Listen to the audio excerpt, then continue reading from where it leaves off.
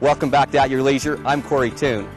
From our trailhead a few weeks ago, Don Dunwell was reporting from Rocky Mountain Raceway at the last motocross race of the season. It was a great event, and while he was there, he spotted a gray Chevy Silverado with an AYL sticker. Since we just reported on the event, we figured they would be a perfect winner for this week's show. Their license number was 287WPT. Congratulations! You've won a chance to go indoor surfing and skydiving courtesy at At Your Leisure and the Junction Mall in downtown Ogden. Be sure to call us this week at 801 947 8888 to claim your prize package. If you have a sticker and you're afraid we're never going to see it, you can go ahead and take a picture of yourself standing next to the AYL sticker on your car and mail or email us a copy, and we'll include you in our drawings. It's that simple.